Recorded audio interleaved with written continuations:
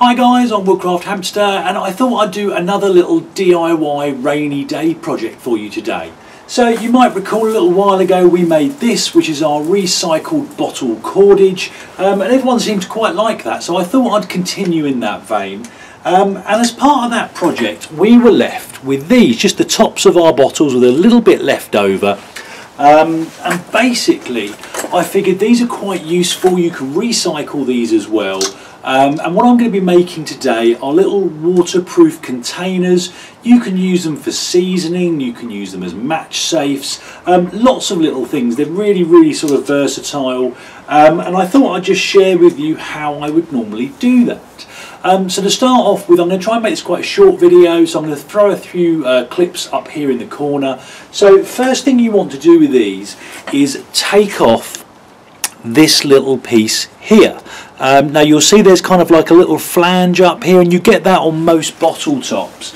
Um, and the easiest way I found for this is to use a hacksaw um, and just cut down. So you'll see up here in the corner me cutting through this with a hacksaw. Um, it really doesn't take all that long. Um, and what you're left with is a nice sort of flat lip.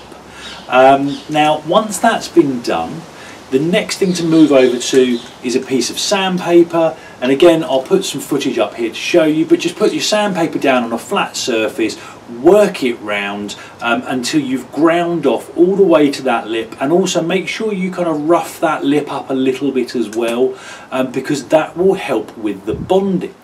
Um, now with all those things done what you're going to be left with um, and I'll skip the camera over in a second but you'll be left with two of these nice and flush that will fit together.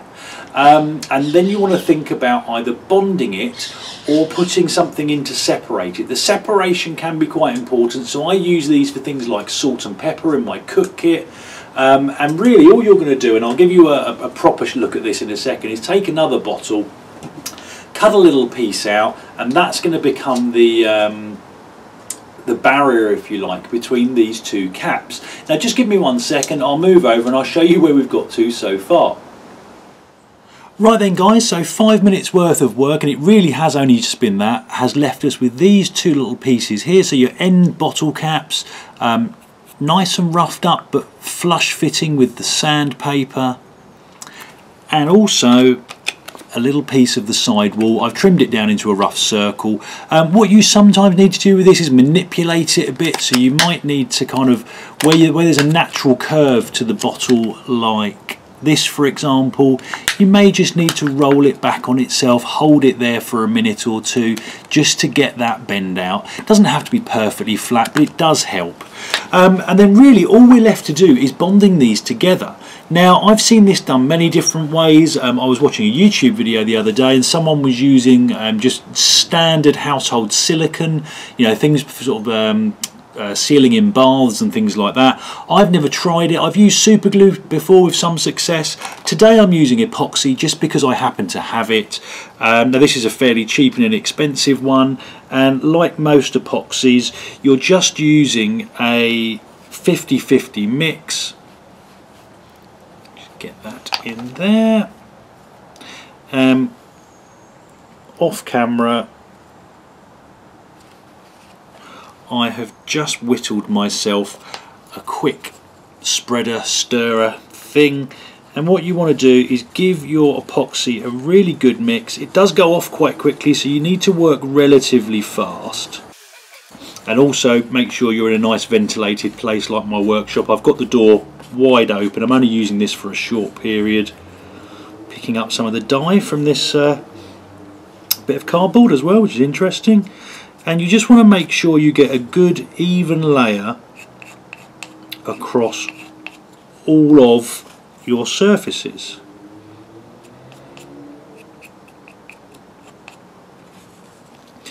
And obviously try not to get it on your fingers. So once you've got the first one done that will go straight down on top of your piece of uh, sidewall and the tricky part is actually getting it to line up when you do the second one. It can be a bit of a faff. Probably should have done a little bit more epoxy, truth be told. Let me make another quick batch up.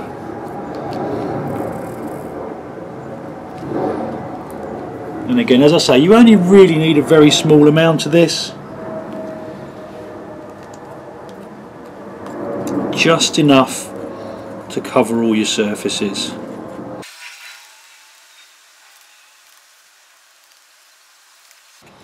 So with that done, I'm going to move this out the way. That little trail off there.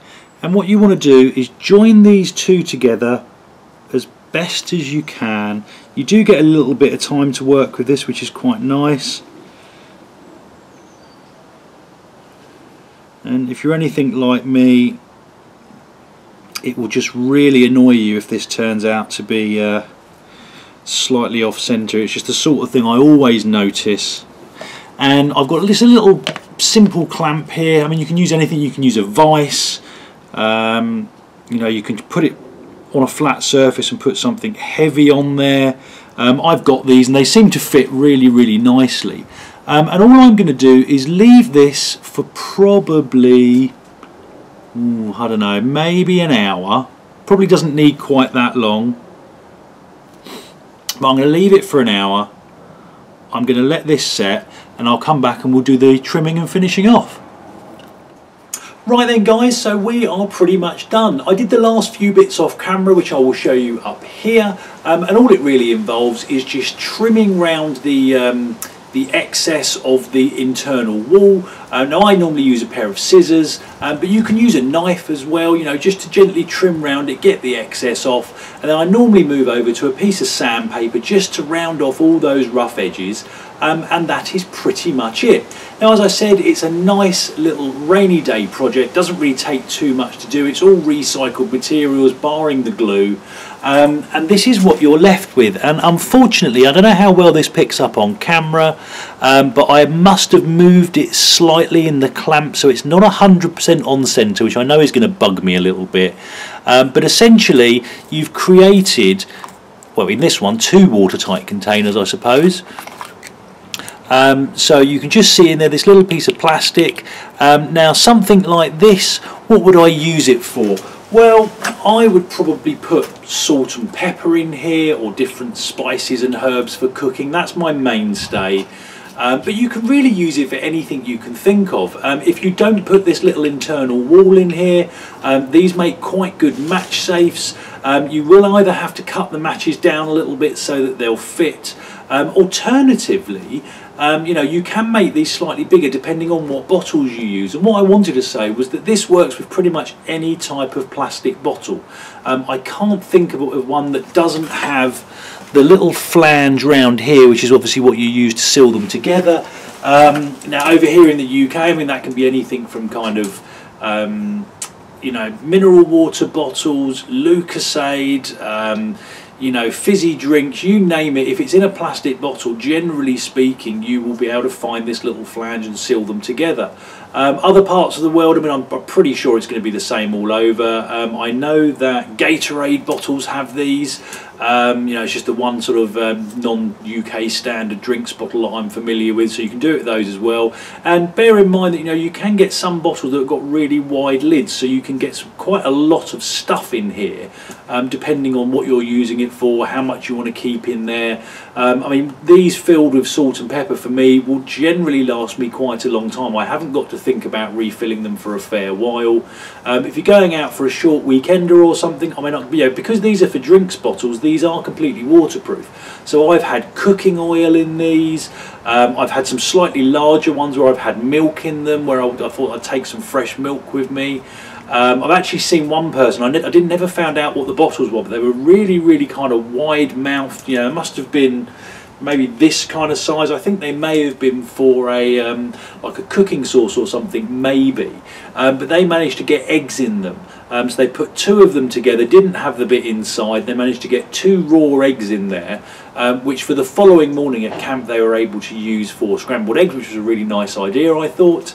Um, so yeah, just something for you to think about, guys. I hope it's useful. I hope it's something you might try and uh, you know make yourself at some point because it's dead simple to do. Um, and that's it for today. So comments and questions in the box below. Hit like and subscribe if you'd like to see more. And I hope you'll all join me next time. Cheers, guys.